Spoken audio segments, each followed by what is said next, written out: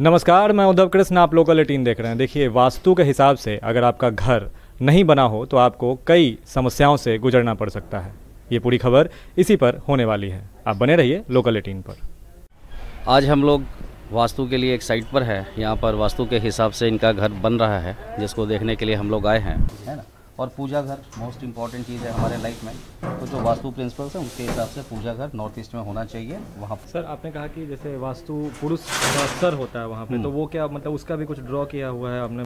ये बीच में जो आप देख रहे हैं ना ये वास्तु पुरुष है अच्छा। है ना? ये परिकल्पना है। एक्चुअली हमारे सभी जितने भी वैदिक ज्ञान है इन सब में मानव शरीर को ही आयुर्वेद से योग से वास्तु से ज्योतिष से हर चीज़ से जोड़ा गया है।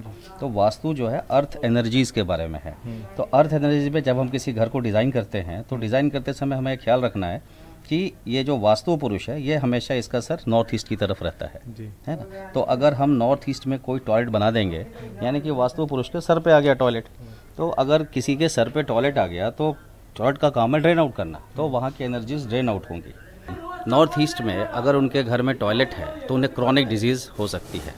उनके घर में किसी न किसी को सर की परेशानी ज़रूर होगी। मानसिक घुटन, गुस्सा का होना, चिड़चिड़ा होना मेमोरी लॉस नर्व्स प्रॉब्लम ये सब नॉर्थ ईस्ट के दोष है। नॉर्थ ईस्ट में सिर्फ़ टॉयलेट ही नहीं, यदि किचन है, रेड कलर है, या आपने घर के ऊपर वहाँ पे पानी की टंकी लगा दी है तो उसका भी प्रभाव आता है। यदि साउथ वेस्ट में आपने टॉयलेट बना दिया तो हार्ट अटैक की समस्या हो सकती है बच्चे कंसीव होने में वंश वृद्धि की समस्या होती है। तो वास्तु तत्व आधारित ज्ञान है। ये बहुत पुराना है और ये टेस्टेड है। आप जितने भी हमारे यहाँ पुराने भवन देखेंगे, वो सभी वास्तु के हिसाब से ही बनाए गए हैं। और वो सब अभी तक खड़े हैं और उनमें ऊर्जा भी है। हम पुराने जिन मंदिरों में जाते हैं, वहाँ हमें वो ऊर्जा महसूस होती है। वास्तु पंच तत्व आधारित है इसलिए और पूरे सृष्टि का निर्माण पंच तत्व से ही हुआ है। सारी खुशियाँ परिवार से ही हैं। तो परिवार जिस घर में रह रहा है उस घर को ये उस घर को तो हम बना ही रहे हैं महँगे मटेरियल लगाकर और बाकी चीज़ों से सजा रहे हैं उसे। लेकिन यदि उसमें वास्तु भी लगा दिया जाए तो ये सोने पे सुहागा हो जाएगा। शैलेंद्र खरे आपका घर जो है आपका अभिनंग होता है। वो आपके जीवन पे आपके पूरी लाइफ पे इफ़ेक्ट डालता है। और ये वही बता सकता है जिस पे बीतती है। आ, पहले हम भी नहीं मानते थे कि वास्तु वगैरह ऐसा कुछ हो सकता है। इंटेंजिबल है बिल्कुल। आप रियलाइज़ करते हैं। आपको कुछ दिखता नहीं है ऐसे सीधे।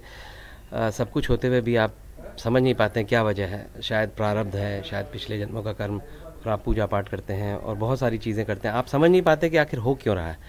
लेकिन आ, फिर जब ये चीज़ रियलाइज़ होती है कि ऐसा भी कुछ होता है कि आपका घर है या आप आपके घर में से कुछ परिवर्तन करने से उन चीज़ों में परिवर्तन होगा ये बात बिल्कुल अविश्वसनीय हो जाती है। और ख़राब नेगेटिव पार्ट की बात करें तो बिल्कुल दरिद्रता एक है, जो दरिद्रता जो शब्द है बहुत ही भयावह है अपने आप में जिससे बीतती हो जानता है। आदमी सुसाइड तक कर सकता है। लोगों का मतलब शायद तीसरे आदमी को ना पता चले बट लोग ये नहीं समझ पाते कि फला की क्या प्रॉब्लम है। और वो बिल्कुल ही, बिल्कुल सब कुछ करने के बावजूद सिर्फ़ आपके घर में अगर वास्तु दोष है, आप जीवन भर भुगत जाएँगे। ये नहीं समझ पाएँगे कि रीज़न क्या है। वास्तु इतना इम्पोर्टेंट है। और ये सिर्फ़ और सिर्फ़ वही समझ सकता है जो वास्तु एक बार चेंज करके देखे, उसका इफ़ेक्ट देखेगा, तब समझ में आएगा कि नहीं, है कुछ, इससे होता है कुछ। खुद करके देखने वाली बात है। एक आपने किया चेंजेस और उसका क्या इफ़ेक्ट आता है वो आप समझ सकते हैं, किसी को बताने की ज़रूरत नहीं होती। वैसे अगर वास्तु दोष है तो वो भुगतता ही रहता है। और उसको शायद लगता है कि पिछले जन्मों का कर्म होगा। जैसे सर इसका नकारात्मक परिणाम है वैसे ही इसका सकारात्मक परिणाम नहीं है। वास्तु के हिसाब से हाँ, अगर लोग हाँ। करें तो इसका सकारात्मकता पे थोड़ा प्रकाश डालिए। सकारात्मकता बस ऐसा कह सकते हैं कि शब्द एक है आनंद और परिपूर्णता। जीवन में परिपूर्णता हो आनंद आनंदमय जीवन हो ये शब्द अपने आप में काफ़ी है। सबका डेफिनेशन अलग हो सकता है लेकिन आनंदमय जीवन हो जाता है। और उसमें सब कुछ निहित है चाहे पैसा हो चाहे आपकी पारिवारिक खुशी हो चाहे अदरवाइज़ हेल्थ सेहत हो। या आपके पास कोई भी तरह का रियल स्टेट या आपका जो भी सपना रहा हो, है ना? प्रेम का अभाव हो, कुछ भी हो, परिपूर्णता आ जाती है, आनंद आ जाता है जीवन में। वास्तु इतना इम्पोर्टेंट है।